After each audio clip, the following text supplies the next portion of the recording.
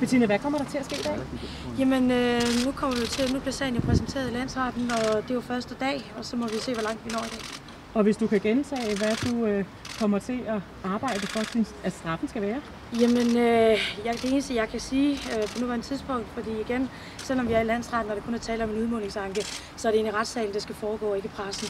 Og øh, påstanden er jo, og det er derfor, vi har anket, og det er, vi har anket til familie. Og mere siger jeg ikke på nuværende tidspunkt. Kan jeg have det godt? Er det sådan, så vi kommer til at høre hele byrettens dom blive læst op? Det bliver i hvert fald ikke med min gode vilje, at vi starter den her sag på, på den her måde.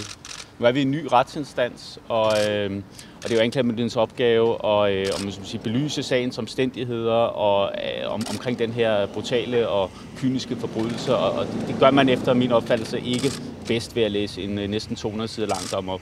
Du har overtaget sagen her, mm. den skal begynde i landsretten. Hvad er det for en type sag, du har overtaget? Altså, ganske kort er det jo en sag, som jeg ikke har set før, altså, øh, og det, det er også derfor, som jeg siger, at det er så øh, vigtigt for anklagemyndigheden, at det her bliver tidsubestemt, også selvom at der i anførselstegn kun er tale om et drab. Vil der komme til at foregå nogle juridiske besvindeligheder, fordi det er jo en sag her, der kører lidt på marginalerne i forhold til, hvad straffen kan være, i forhold til den præcedens, der er for straffe for et drab?